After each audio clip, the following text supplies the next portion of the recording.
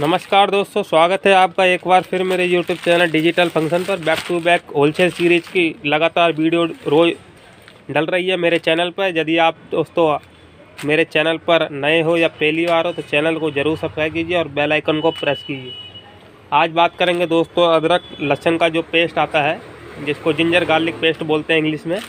उसको अपन हिंदी में बोलते हैं अदरक लहसुन का पेस्ट और उसका होलसेल प्राइस जानने का बात करेंगे और ये काफ़ी ज़्यादा में आजकल मात्रा में बिक रहा है। क्योंकि दोस्तों, एक तो ये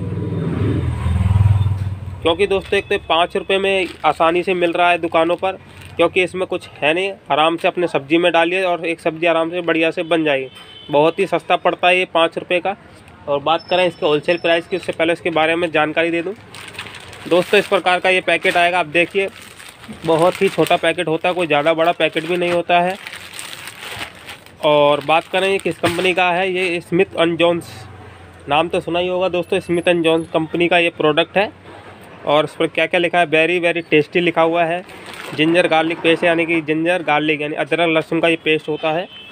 और बात करें इसके अंदर कितने पीस निकलते हैं? एक पैकेट के अंदर तो अड़तालीस पीस निकलते हैं, पाँच रुपये वाले।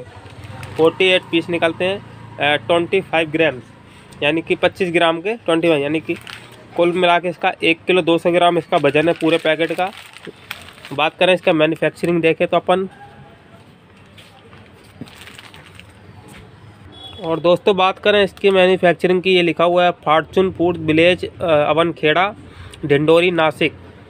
और इसका जो रजिस्ट्रार ऑफ़िस है पान food division of Kayam foods industries private limited GT road opposite Khadi Ashram, Panipat, Haryana में इसका ऑफ़िस है दोस्तों। और बात करें इसके होलसेल प्राइस की, दोस्तों, यदि आप पूरा पैकेट लेते हो एक पैकेट तो आपको 135 से 140 रुपए तक मिल जाएगा आपको। यानी कि 130 रुपए से लेकर 140 तक मिल जाएगा। मेरी ख़रीद 130 रुपए है।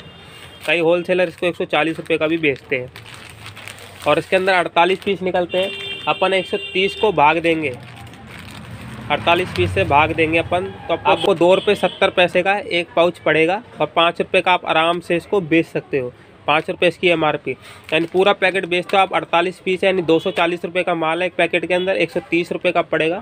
तो आपको अच्छा खासा मार्जिन है। तो आपको पूरा बंडल बेचने पर एक सौ दस रुपये का मुनाफा होगा और जो कि एक अच्छा खासा मुनाफा है। बहुत ही ज़्यादा बिकता है ये पाँच रुपये में। देखने के लिए मेरी वीडियो को लाइक करें शेयर करें सब्सक्राइब करें और चैनल को ज़रूर सब्सक्राइब करिए फिर मिलते हैं एक नई वीडियो के साथ कल। नमस्कार दोस्तों।